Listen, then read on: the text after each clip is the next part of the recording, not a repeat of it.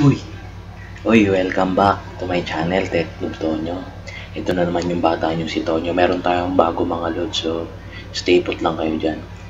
Um, in today's video, meron tayong re-reviewin na mechanical keyboard. Um, ito siya. Ang uh, Red Dragon Mitra K551 uh, RGB version. So, kapit lang tayo dyan mga loads dahil uh, unboxing muna tayo. Okay?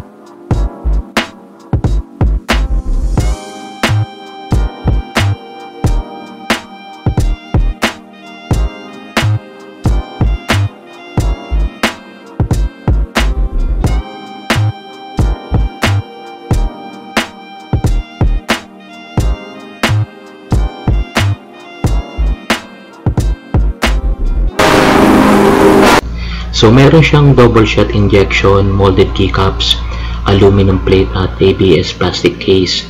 Sa likod may sticker for the keyboard model and serial number. Weird na glossy letter M shape embossed pattern. I guess M for Mitra. Keyboard stands with rubber feet.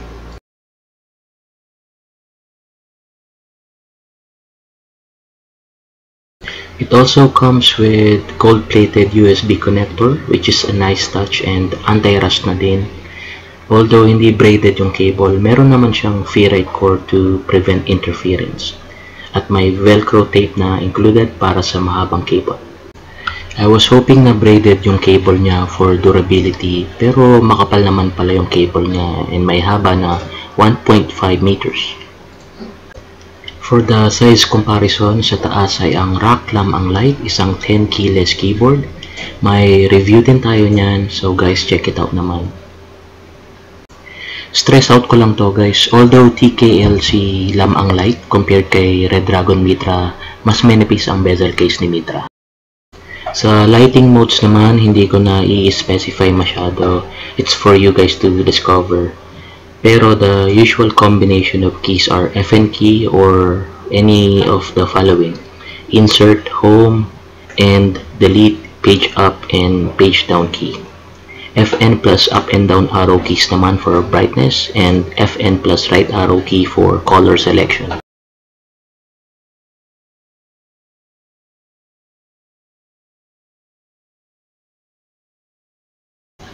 Sa Switch naman, medyo curious ako kasi walang info sa website nila about sa specific type ng switches na ginamit. Pero may claim si Red Dragon na Cherry Blue equivalent daw ang switches for this keyboard. However, medyo hawig sila ng Otemu Red switch na meron si Lam ang light. So for the sake of science at dahil malakas kayo sa akin, let's do an experiment. Pagpalitin natin ang switch ng up arrow key nila and uh, let's test it out kung gagana.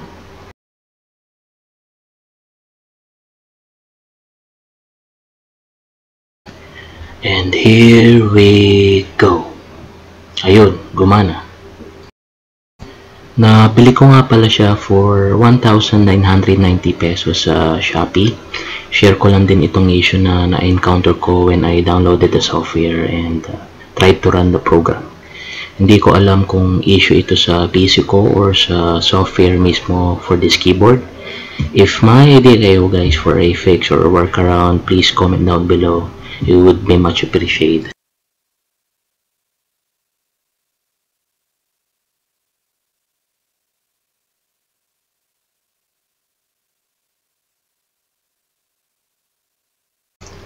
A little bit of background lang about this keyboard. So, this keyboard belongs to my girlfriend. Uh, kailangan niya ng may lights na keyboard and good for typing. Kasi lights off siya pag nagtatrabaho. That's why I uh, recommended this. Work from home setup sila and ginamit niya to for her work that uh, requires her to input data. So, sandamakmak na typing for 8 hours, 5 days a week. And uh, more than a month na niya ito ginagawa since we received this keyboard. As uh, you can see, wala pang issue any of its keys. For FPS gaming naman, although tactile at clicky siya and mas ideal siya for typing, average pa din naman yung performance niya for gaming. Responsive naman lahat ng keys when pressed at walang input lag. On this keyboard kasi ramdam mo yung konting resistance. Hindi naman siya malaking issue or a deal breaker for me nonetheless.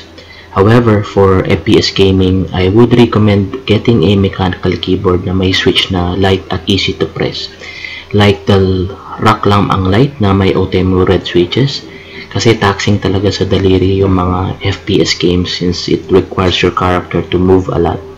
May review din ako for that keyboard kaya check it out din mga lods pag may time. Alright, so kung nandito pa kayo lods, uh, salamat.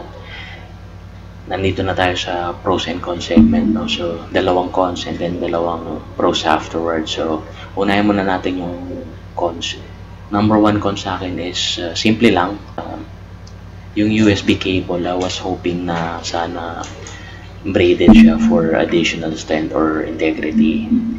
Pero uh, so far so good naman. Makapal naman yung uh, yung USB cables.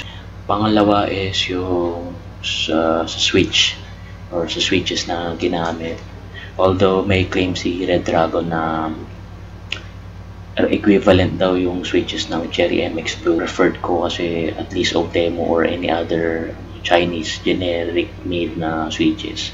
Kasi uh, let's say Optemo switches yung ginamit dito. Ang, ang dali lang niya hanapin if ever na gustuin natin or kailangan natin na magpalit ng switches. Kung masira man or uh, trip lang natin mag, mag-try ng iba. Okay, so yun lang naman. Sa pros, number one is yung pricing. For 1,990 pesos nung time na binili ko siya, sulit talaga kasi uh, kita nyo naman yung design, yung build quality, uh, and kilalang brand sa China, yung Red Dragon. So, talagang hindi siya ganun ka generic na mechanical keyboard. So, yun.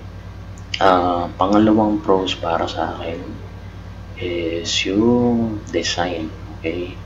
Yung angas ng bezel niya, ang nipis. Uh, actually, mas manipis siya compare sa Rocklam ang light na meron ako. By the way, meron tayong review niyan guys, so check it out.